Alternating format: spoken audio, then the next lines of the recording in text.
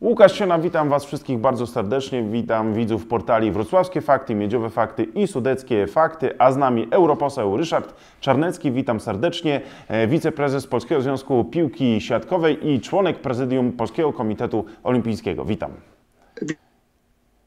Panie Ryszardzie, y, najważniejsze pytanie chyba dzisiaj, które y, wszystkich internautów y, interesuje, szczególnie tych zainteresowanych sportem. Czy Igrzyska Olimpijskie w Tokio po pierwsze się odbędą i po drugie, czy będą miały formę normalną, czy też będzie to forma kompaktowa, jak usłyszeliśmy od Marka Szkolnikowskiego, dyrektora TVP Sport, który mówił, że są rozważane takie opcje, by zaprosić tylko na przykład najlepszych sportowców z danej dyscypliny i rozegrać między nimi zawody.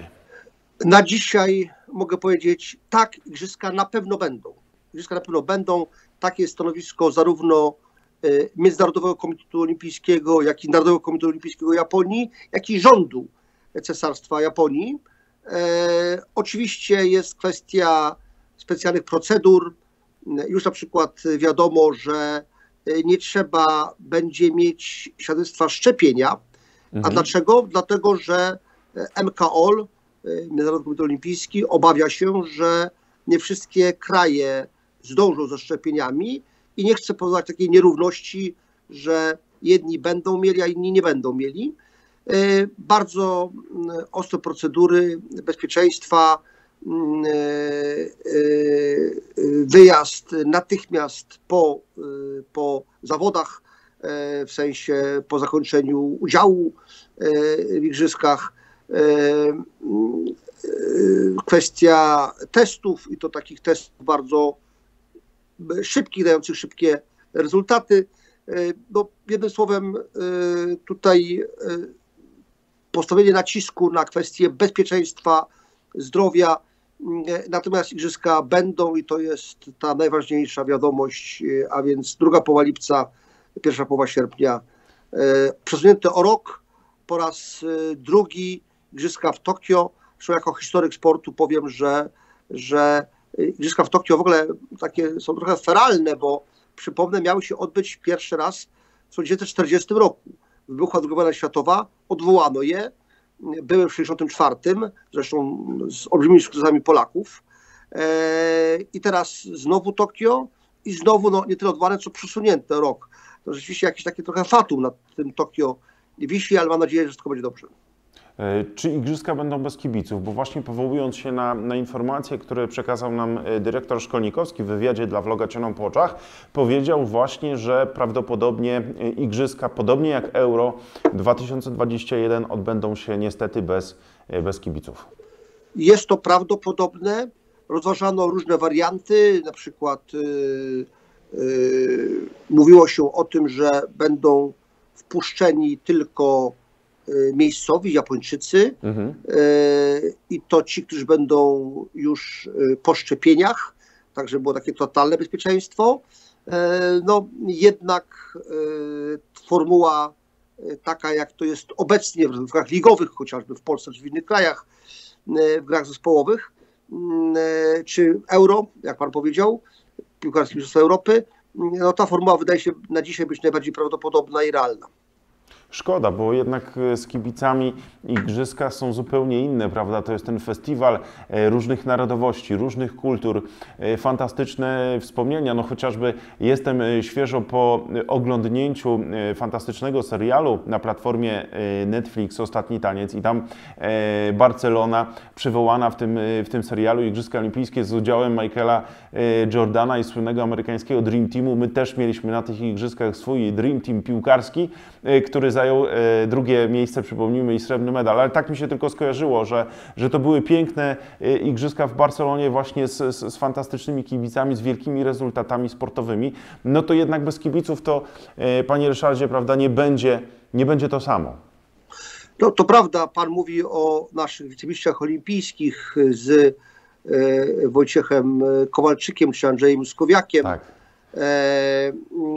ale też przypomnijmy podwójne złoto pięciu boistów nowoczesnych z Arkadiuszem Skrzypaszkiem indywidualnie i złoto w drużynie, także Waldemar Legien złoto drugie w judo po Seulu. To też były takie bardzo szczęśliwe igrzyska, zresztą służyły też do takiej pewnej promocji Katalonii, To takie prawda. pewne tendencje suwerenistyczne zaczęły się bardzo mocno mm, rozwijać właśnie po tych igrzyskach, kiedy Katalończycy poczuli taką pewną dumę mm, z tytułu organizacji tych, tych igrzysk.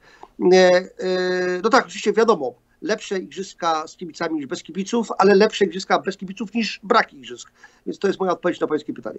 No tak. Y, Dzisiaj z kolei też oglądałem taki jeden z filmików promocyjnych naszych złotek pod wodzą trenera Aleksandra Matusińskiego. No i tak sobie, sobie pomyślałem, Boże, ile one by straciły tak naprawdę, bo to e, jest obok siatkarzy. Myślę, że to są nasze pewniaki do medali. Nie chcę oczywiście zapeszać, ale e, to dla tych dziewczyn byłby ogromny e, wyczyn i myślę, że one dwa lata, już teraz dwa lata, nawet więcej niż dwa lata, wiele lat poświęciły właśnie ku temu, żeby zdobyć, zdobyć krążek olimpijski bo to jest przecież przepustka do e, nieśmiertelności, to jest przepustka też do e, tego, żeby po prostu no, monetyzować nawet ten swój e, sukces. Więc szkoda byłoby chociażby dziewczyn, żeby nie mogły wystąpić w Tokio. Każdego sportowca szkoda, który by nie mógł wystąpić. Ja jako przypomnę, jakim dramatem dla polskich sportowców, dla polskich siatkarzy, dla Tomka Wójtowicza, u którego właśnie będę w tym tygodniu mm, pod Lublinem, był fakt, że względów politycznych zbojkotowano, kazano zbojkotować Polsce wtedy, y, chodzi o Związek Sowiecki, Igrzyska w Los Angeles. To była drama. Przecież tak, też mieliśmy, tragedia. wydawało się, pełny złoty medal olimpijski w siatkówce, w wielu dyscyplinach byliśmy bardzo mocni. I to szereg sportowców w ogóle wtedy zakończyło kariery sportowe albo przestało już zdobywać polskiej reprezentacji. Więc no, oczywiście po to mm, sportowcy trenują przez 4 lata, żeby wystąpić w igrzyskach. To, tego nie można dziś porównać z tymi mistrzostwami świata czy Europy. Na szczęście te igrzyska jednak myślę, że będą. Szkoda, że bez kibiców prawdopodobnie. No, tym większa rola mediów, tym większa rola telewizji. No właśnie, a jak z dziennikarzami będzie, panie Ryszardzie? Czy są jakieś ograniczenia w ilości e, dziennikarzy akredytowanych? Czy, czy ma pan takie informacje właśnie, że, że nasz PKOL, bo wiadomo, że to właśnie PKOL wysyła e, do, do MKOL-u e, listę naszych dziennikarzy, coś tutaj też będą jakieś cięcia, czy, czy wręcz odwrotnie, może więcej będzie przedstawicieli mediów właśnie w związku z tym, że nie będzie w ogóle kibiców? Jest pan kolejnym dziennikarzem, który o to pyta według mojej wiedzy PKOL zamknął tę listę w zasadzie na przełomie zimy i wiosny zeszłego roku. Oczywiście to się może zmieniać. Natomiast no, tutaj ograniczenia będą dotyczyły wszystkich, może nie tyle sportowców, ale no, kibiców, już powiedziałem, ale także różnych oficjeli. W związku z tym no, to też dotyczy w sposób naturalny również niestety dziennikarzy. Niestety, bo tak naprawdę e, właśnie ludzie o tym często zapominają, ale bez tych dziennikarzy nie byłoby e, przekazów. No myśmy się rzeczywiście na te akredytacje trochę spóźnili, ale myślimy już o kolejnych e, igrzyskach, natomiast jako vlog pojedziemy, pojedziemy też na Mistrzostwa Europy. Natomiast Panie Ryszardzie, zastanawiam się, zastanawiam się nad jedną rzeczą, ile my tych medali możemy zdobyć, bo zawsze jest walka, żebyśmy tych medali zdobyli jak najwięcej. Niestety tendencja, patrząc na Igrzyska Olimpijskie nasze, jest taka, że rzeczywiście tych medali było coraz mniej, coraz mniej. Czy Pan myśli, że te igrzyska, takie niecodzienne, trudne ze względu na pandemię, ze względu właśnie na, na to, że, że być może będą troszeczkę zmniejszone ilości zawodników czy zawodniczek w poszczególnych e, dyscyplinach, mogą być dla polskiego sportu chociażby przełomowe, no bo może wreszcie odbijemy się od tej małej ilości e, krążków. No jako członek prezydium Polskiego Komitetu Olimpijskiego powiem, że my mamy takie symulacje, które wskazują, że to mogą być najlepsze igrzyska dla Polski. E, e, no być może nawet począwszy od igrzysk w Atenach, bo igrzyska ostatnie, czyli Pekin, Londyn, Rio de Janeiro, także Ateny, to były igrzyska, gdzie myśmy przywozili 10-11 medali. Mówię 10-11, ponieważ myśmy wyjeżdżali z 10, a ten 11 był nam często przyznawany, bo tam kogoś dyskwalifikowano Dokładnie. za, za doping, tak? No, stąd zresztą Anita Wodarczyk została mistrzynią olimpijską, Szymon Kołecki mistrzem olimpijskim, ale także, e, także medal otrzymał chociażby ciężarowiec e, Bąk e, i tak dalej, więc ta liczba medali trochę zastała do 11, ale to była taka magiczna granica. Myślę, że teraz będzie tych medali paręnaście, kilkanaście. No, trudno będzie zdobyć, nie wiem, tych medali jak to bywało kiedyś, ale myślę, że tutaj Pan wspomniał o sztafecie 400, w ogóle lekkoatletyka, potęga, siatkarze, Michał Kubiak, kapitan reprezentacji mówi wprost, interesuje nas złoto, tak jak trener Hubert Jerzy Wagner, kat przed Igrzyskami Montrealu, że interesuje nas tylko złoto, no ale tutaj wspomnę jeszcze o medalach z wody, czyli bardzo silne polskie wiosła, bardzo silne polskie kajaki. No, wydaje się, że tutaj rzeczywiście jest szansa na, na rekord, taki rekord yy, yy, najwięcej medali w tym wieku, pomijając oczywiście Igrzyska w Sydney w roku 2000. No i to byłoby piękne, gdyby w takim trudnym czasie dla polskiego społeczeństwa, dla całego świata, to właśnie Polska pokazała się z niesamowitej strony, jeżeli chodzi właśnie o tą sportową rywalizację, ale wiemy, że toczy się też rywalizacja wielkich, czyli Stanów Zjednoczonych, e, reprezentacji Stanów Zjednoczonych z Chinami. Chiny ten wyścig e, nie tylko polityczny, jak niektórzy mówią, zaczynają wygrywać, ale zaczynają wygrywać w sporcie bardzo mocno. E, wygrały ostatnią klasyfikację medalową. Jak pan myśli, bo, bo to jest zawsze starcie gigantów. Można to e, gdzieś przełożyć także na teatr polityczny pomiędzy Chinami i Stanami Zjednoczonymi. Kto wygra klasyfikację medalową, bo myślę, że Chiny e, nie odpuszczą. To jest na ich kontynencie, można powiedzieć. Japonia to oczywiście niekoniecznie ich strefa wpływów, bo to bardziej strefa wpływów amerykańskich, ale jednak ta rywalizacja pomiędzy Stanami Zjednoczonymi a Chinami będzie do ostatniego dnia pewnie igrzysk, jeżeli chodzi o klasyfikację e, medalową. No myślę, że na pewno na doping japońskich kibiców Chińczycy liczyć nie mogą, Raczej, tak. dlatego że kibiców nie będzie, ale na pewno z względów historycznych, no przypomnę, że y, Japonia y, w okresie y, II wojny światowej, jeszcze przed nią, była okupantem, agresorem wobec Chin i wojska japońskie były bardzo okrutne. Natomiast, no cóż, myślę, że pan ma rację, że rzeczywiście obojętnie kto jest prezydentem USA, czy to jest y, Donald John Trump, czy to jest Joseph Robinet Biden, w skrócie Joe Biden, e, obaj deklarują, że Chiny są, jak to określił Trump, takim strategicznym konkurentem i to się przekłada na sport. Oczywiście oba kraje będą chciały wygrać w kwalifikacji medalową, żeby na tym płaszczyźnie pokazać, kto, kto jest pierwszy, kto jest lepszy. E, mm, no, zobaczymy. Y, oba kraje dotknięte pandemią, ale USA, mało kto o tym w tej chwili pamięta, ale to jest kraj o największej liczbie zgonów i największej liczbie zarażonych.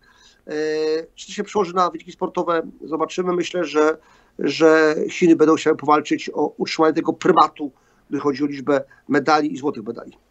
Tak, i wydaje się, że tam jest taka produkcja, można powiedzieć, mistrzów olimpijskich. E, nie wiem, czy to źle, czy dobrze, ale są ta, e, całe te szkoły, prawda, e, gdzie ćwiczą w, danej konkretnej dyscyplinie. No ale na przykład w piłce nożnej to nie za bardzo jeszcze im wychodzi. Są jeszcze takie dyscypliny, że Chińczycy nie są w stanie wyprodukować tych, tych mistrzów, chociaż wiemy, że mają te swoje programy, które zakładają, że w którymś tam roku jednak będą w stanie nawet powalczyć w futbolu. Wiemy, że Polscy polscy trenerzy chociażby przez laty też e, budowali tam futbol, jak trener Andrzej Strejlał na przykład i tak dalej. Natomiast no, jestem ciekawy, czy, czy nawet i w tych grach zespołowych Chińczycy e, wreszcie będą e, starali się swój prymat pokazać. Łatwiej im jednak w tych dyscyplinach indywidualnych wyprodukować. No, ja tylko przypomnę, że pierwszy zagraniczny trener kadry narodowej Polski w siatkówce, Raul Lozano, był przez parę lat trenerem, nawet niedawno, Chińczyków. I, i o ile z Polakami E, odniósł wielki sukces e, wicemistrzostwo świata, e, pierwszy medal mistrzostw świata po 32 latach dla Polski. O tyle no, z Chińczykami zupełnie mu się nie powiodło. Przypomnę też, że polscy koszykarze ograli Chińczyków, gospodarzy w czasie mistrzostw świata w koszykówce. W siatkówce ich lejemy, w piłce nożnej również. Tak widać tutaj nawet to, że mają te półtora miliarda czy, czy, czy, czy, niewiele mniej, im nie pomaga, gdy chodzi o sporty zespołowe ale myślę, że to kwestia czasu. Myślę, że to kwestia czasu. Oni pracują bardzo systematycznie e, i myślę, że będą coraz, coraz lepsi. Paradoksem jest to, że o kontynent azjatycki, to Japonia i Korea Południowa osiągały dużo większa, kiedyś jeszcze Korea Północna, e, większe sukcesy w piłce nożnej, to, to, to charakterystyczne. E, no Japończycy, też przypomnę, byli w swoim czasie mistrzami mistrzami olimpijskimi w siatkówce, e, e, mistrzami świata.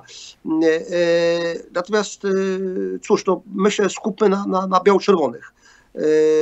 To będzie występ, który będziemy obserwować dużym no, zaangażowaniem emocjonalnym. to jest, są igrzyska, które będą rok później.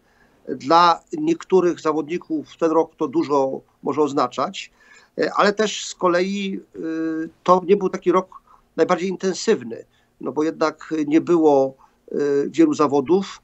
Niektóre dyscypliny w ogóle były trochę zahibernowane, zamrożone. Siatkówka miała raptem dwa oficjalne mecze międzypaństwowe. No, ligi grały. Mm, tutaj większość polskich siatkarzy, olbrzymia większość gra w polskiej lidze.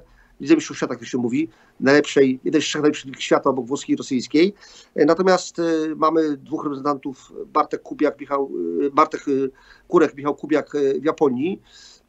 Mamy Muzaja w Rosji, Bartosza Bydnoża też w Rosji. Te ligi tam grają, chociaż liga w Japonii kończy się, kończy się dość szybko wiosną, więc właściwie już za chwilę się kończy. W związku z tym myślę, że tutaj nasi siatkarze będą ci, którzy grają w ligach zagranicznych będą raczej wypoczęci.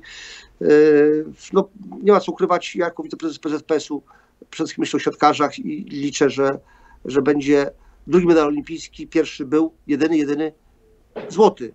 W Montrealu w 1976 roku mam nadzieję, że i złoto do złota, że będzie znowu złoto. Tak, i piękna deklaracja właśnie e, Kubiaka. Ja uważam, że takie deklaracje są bardzo ważne, bo e, musimy brać przykład z takiej mentalności amerykańskiej. Tak? Jeżeli jedzie Dream Team, to po to, żeby e, wygrać, a nie po to, żeby zająć drugie czy trzecie miejsce. Znów odwołam się właśnie do Michaela Jordana, który zawsze wychodził z takiego założenia, prowadząc swoje zespoły. I bardzo mi się podoba takie, taka postawa. Nie żadne tam kunktatorstwo czy chowanie głowy w piasek, polskie kompleksy, jak to niektórzy nazywają, ale właśnie walka o zwycięstwo. Myślę, że w tym e, jest to, jest duże tutaj podobieństwo pomiędzy na przykład chociażby i Robertem Lewandowskim, jego taką siłą do tego, żeby cały czas wygrywać z Bayernem, powtarzać znakomite sukcesy i mamy nadzieję z reprezentacją Polski. No i właśnie z deklaracją, e, z deklaracją Michała Kubiaka. Takie deklaracje są bardzo, e, bardzo ważne. Panie Dodam Ryszardzie... jeszcze jednego sportowca, też Roberta. Pamiętam, jak przed Igrzyskami Olimpijskimi, tymi ostatnimi dla Roberta Korzeniowskiego, jak on deklarował wprost, że, że jedzie po to, żeby pójść po złoto, tak? Tak. E, I, i, i poszedł. Cztery złote medale najwięcej, więcej się Szywińska, która miała siedem medali, ale tylko, tylko, tylko trzy złote, dwa brązowe. On miał cztery złote. Mm, właśnie też dlatego, że sobie stawiał najwyżej. Myślę, że to jest, ma rację. Tutaj coraz częściej e, decyz, decydującym czynnikiem jest głowa.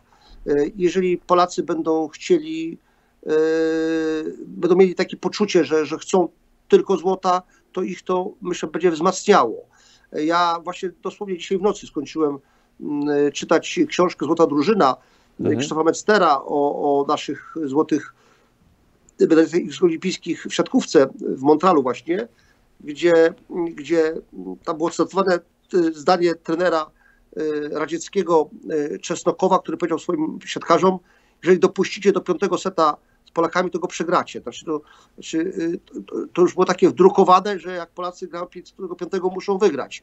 Dlaczego? Bo tak harowali na treningach, jak powiedział Włodek Sadalski, też mistrz olimpijski świata, y, po to 7 godzin zasuwali w śniegi popachu, w śniegi popachu, popachy y, w polskich górach zresztą, że potem mieć takie poczucie no, to takiej totalnej siły. A to buduje, dobre wytrenowanie buduje też, też bardzo silną psychikę, o czym mówimy. Panie Szardzie, jeszcze jest kwestia mm, osoby Wilfredo Leona. Było trochę, jakby można powiedzieć, takiej kontrowersji. Niektórzy mówili, że to niedobrze, że on wchodzi do tej drużyny, że zabiera miejsce jakiemuś mm, Polakowi, tak, e, że nie, e, że nie zgra się, ale wydaje się, że sport wszystkich powinien łączyć. No i skoro ma e, polski paszport, chęć do gry w reprezentacji, to może tylko nas wzmocnić i tak naprawdę rzeczywiście być może pomoże w realizacji marzenia, jakim będzie złoty medal Igrzysk Olimpijskich. E, e, Wilfredo Leon Venero, tak brzmi jego pełne nazwisko, tak. e, ma polską żonę, mm, ma e, dzieci, które mówią po polsku, sam po polsku mówi, e, z Polską wiąże swoją przyszłość. Tutaj chce mm, inwestować pieniądze, tu chce mieszkać, myśli o polskim klubie, myśli o inwestycji w polski sport, polską siatkówkę, z tego co wiem, chyba, chyba wiem dobrze, więc ja muszę powiedzieć, że, że no, ja bym w ogóle nie porównywał go do Olisa Debe, przy tym szacunku dla Olisa Debe, którego Mhm. lubiłem, nazwali go nawet Czarneckim e, w swoim czasie, e, e, e, który no, nigdy się po polsku nie nauczył e, i w zasadzie mm, no, jakoś się z Polską za bardzo nie związał. Myślę, Tak. że Leon będzie częścią polskiego życia publicznego i polskiego życia e, sportowego, nawet po zakończeniu kariery, prawda? E, Myślę, że będzie obecny w Polsce. Mm, W związku z tym tutaj y, to, że on jest w naszej reprezentacji, no to Bogu dzięki, najlepsza siatka świata.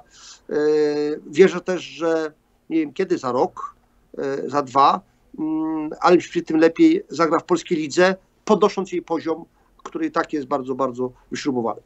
I tutaj jesteśmy e, zgodni. Panie Ryszardzie, troszeczkę zmienimy dyscyplinę na chwilę na e, piłkę nożną. Ostatnio taka zmiana, bardzo powiedziałbym niespodziewana, ale Zibi Boniek podjął, e, zagrał w grę, postawił wszystko na to, że trzeba zmienić i zmienił trenera Brzęczka na Paulo Sousę. Jaka, jakie jest Pana opinia w tej, w tej kwestii? Czy rzeczywiście prezes Boniek no podjął taką, powiedziałbym, bardzo dużą hazardową grę, e, w której postawił wszystko na jedną kartę?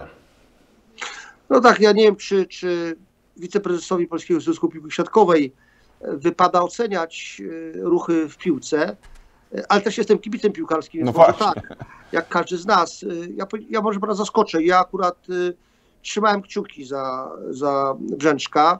E, Uważałem, że może nie jest jakimś mistrzem PR-u, jak nie wiem, Michniewicz, e, który się łeb łatwiej sprzedaje medialnie, e, ale jednak myślę, że nie do końca ta krytyka była jego usprawiedliwiona. Mm, Natomiast, no, jak rozumiem, problemem, mówię wprost, tak, problemem chyba były relacje z Robertem Lewandowskim i z częścią drużyny.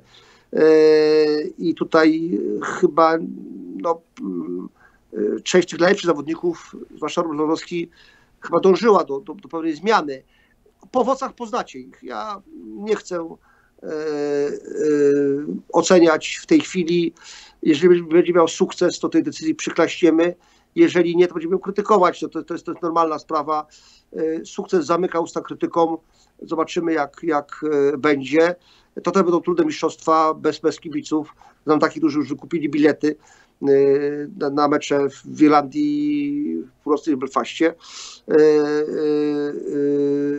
w Dublinie chyba, tak, w Dub- Dublinie. To, to no cóż, no myślę, że, że tak naprawdę władze PZPN-u, czy zdaje się chyba prezes Boli podjął tę decyzję, nawet nie władze. U nas, u nas w siatkówce to się jednak podejmuje władze kolegialnie, cały zarząd podejmuje, głosuje się nawet. E, Pamiętam, że jak było głosowanie nad Heinenem, to był jeden głos przy, przeciwny Mhm. mm, e, temu. E, Natomiast to ja powiem w ten sposób, naprawdę w tej chwili nie ma co wyrokować, jak będzie sukces Europy, czyli wejście powiedzmy do pierwszej czwórki, no to, to ta decyzja będzie oceniana pozytywnie. No jak nie, no to, to oczywiście pewnie sceptycznie. No tak, bo kończy się wielka e, dwuetapowa kadencja Zbigniewa Bońka. To jest jednak wiele, wiele lat zarządzania polskim sportem, e, polskim, przepraszam, nie sportem, piłką nożną, ale niektórzy mówią, że piłka nożna to jak religia i 90% sportu, ale można to różnie, e, różnie oceniać. To będzie chyba już nowa epoka jednak w Polskim Związku Piłki Nożnej po Zbigniewie Bońku, tak mi się wydaje. No cóż, no, z tego co wiem, to jego faworytem jest Marek Kuźmiński, wiceprezes. Tak. Y, Obaj grali we Włoszech y, silne więzy. Y, Jak będzie, no to już dzieci piłkarscy wybiorą. Słyszę o dużych szansach pana Kuleszy z Podlaskiego Związku Piłki Nożnej z Jagiellonii Białystok. E, Natomiast no myślę, że e, to, że miała miejsce pandemia, to, że wydłużono kadencję związków, to Zbyszkowi, Bońkowi, mówię Zbyszkowi, bo, bo po imieniu, o tyle pomogło, że mm, wybory do egzekutywy, do władz, ścisłych władz UEFA odbędą się wiosną tego roku. E, On startując, tam mogą być, startować tylko prezesi e, związków. On jako prezes związku ma silniejszą pozycję i myślę, że ma wielką szansę na to, że ponownie znajdzie się w składzie tego Executive Committee, Komitetu Wykonawczego e, UEFA i tego oczywiście dla dobra polskiej piłki, dla dobra polskiego sportu mu życzymy. Jak najbardziej. Panie Szardzie, króciutko jeszcze zrobimy wątek wrocławski, e, bo jednak e, też Gwardia Wrocław Siatkarska odradza się. E, wiemy, mamy takie informacje, że też pomagał Pan w znalezieniu sponsora właśnie dla, dla Gwardii Wrocław. Jak to wyglądało? Jak Pan w ogóle widzi przyszłość tego zespołu, który, tak jak już powiedziałem, odradza się dla, dla polskiej siatkówki? No, podobnie jak wcześniej, w zeszłym roku i w tym roku, w zeszłym sezonie i w tym sezonie E, udało się pozyskać e, sponsorów dla Woleja Wrocław, dla żeńskiej siatkówki. Najpierw była to spółka córka KGHM Centrozłom. Teraz e, jest to KGHM, spółka matka z dwukrotnie większymi pieniędzmi. Odnośnie Ewinera Gwartii Wrocław, no to udało się pozyskać, nie ukrywam, że, że te rozmowy mm, prowadziłem, sponsora w postaci firmy buchmacherskiej, nie z Wrocławia, z Trójmiasta. Ciekawa. To rzecz. Ciekawa, ciekawa tak, sytuacja. E, właśnie Ewiner. E, teraz będzie nowy sponsor obok Ewinera. Jest to spółka Skarbu Państwa. E, decyzje zapadły. Procedury korporacyjne trwają, w związku z tym jeszcze nie ujawnię nazwy, natomiast jest to spółka, która już po części siatkówkę wspierała. Wrocław ma piękny... A co do zespołu, to nie jest on faworytem na pewno, gdy chodzi o playoffy, stara się na piątym miejscu. E, ciekawy manewr z trenerem Markiem Lebediewem, byłem trenerem reprezentacji Australii, e, który zresztą mieszka w Polsce, ma, ma mm, polską żonę, mieszka na Górnym Śląsku. E, ściągnięcie teraz Amerykanina, byłego reprezentanta USA, mm, też jest ciekawym manewrem. Zobaczymy, na pewno jest to klub, który ma dużo mniejszy budżet niż Bielsko-Biała, Bydgoszcz, E, niż Lublin. Są główni pretendenci do, do miejsca plus lidze. Wchodzi tylko jedna drużyna. Były koncepcje, żeby e, nie było spadków i poszerzyć ligę mhm. o dwa zespoły, no ale ponieważ wszystkie mecze zdaje się będą dograne do końca sezonu, mimo pandemii, w związku z tym pozostaje po staremu, czyli jedna drużyna spada, jedna wchodzi. E, Wrocław nie jest faworytem, ale przypomnę taki fakt, kiedy Suwałki lata temu weszły do, do Plus Ligi niespodziewanie, to przed playoffami były na piątej pozycji. Gwardia Wrocław dzisiaj jest na piątej pozycji. A zatem można, można tego dokonać, tym bardziej, że Wrocław ma e, piękne tradycje siatkarskie, także wydaje się, że, że to miasto powoli wraca na mapę męskiej siatkówki, bo oczywiście żeńska była, była mocna e, przez lata, trochę tąpnięcie nastąpiło, ale jednak to miasto kocha kocha ten sport, to nawet pamiętamy przecież, kiedy były mecze reprezentacji przy dużych imprezach e, właśnie siatkarskie, no to podobnie jak cała Polska kocha siatkówkę, ale we Wrocławiu też e, no zabijano się o te bilety, żeby e, dotrzeć do, do hali. To prawda, przypomnijmy, trzykrotny mistrz Polski, 79, 80, 81 rok, raz wicemistrz, raz drugie miejsce w Pucharze Dowódców Pucharów Europejskim, takie nazwiska jak Maciek Jarosz, jak Reneusz Kłos, jak Lech Łasko, który przecież do tej pory mieszka we Wrocławiu, jak no, szereg innych, innych yy, yy, siatkarzy, yy, no, to, to, to, bardzo silna marka. Tak? Cieszę się, że obecni włodarze Gwardii Wrocław, Łukasz Tobys i Katar Maćkowiak do tego nawiązują. Ostatnio na turnieju siatkarskim imienia prezydenta Kaczyńskiego, oni zrobili takie koszulki z nazwiskami tych dawnych graczy, którzy kiedyś zdobywali złoty medal dla Gwardii Wrocław y, i w tych koszulkach grali zawodnicy współcześni, też obok nazwisk tych dawnych mistrzów były ich nazwiska. Bardzo fajna, fajna inicjatywa. Y, cóż, to jest klimat na siatkówki na pewno w Wrocławiu i żeńskiej, i męskiej. I wydaje mi się, że nawet jeżeli nie będzie awansu w tym roku, to, to ta drużyna jest budowana y, w oparciu o pewien projekt paroletni, y, poważny projekt, więc myślę, że warto trzymać za to kciuki. Dokładnie. Panie Ryszardzie, na koniec co by Pan powiedział kibicom w tym trudnym roku 2021, którzy tak kochają polski sport, no ale prawdopodobnie będą mogli oglądać duże wydarzenia tylko za pośrednictwem nas, czyli, czyli mediów życzę polskim kibicom, a więc także, także sobie, abyśmy mogli w tym roku usłyszeć jak najwięcej e, najpiękniejszej melodii świata, czyli Mazurka Dąbrowskiego e, oczywiście w kontekście Igrzysk Olimpijskich, nie tylko, bo przypomnijmy, mamy w Polsce we wrześniu po Igrzyskach Mistrzostwa Europy w siatkówce, Polska jest ich e, organizatorem e, i tutaj nie ma co ukrywać, że bronimy narodowego medalu, ale myślimy też o złotym, bo, bo ta drużyna sobie poprzeczkę stawia najwyżej.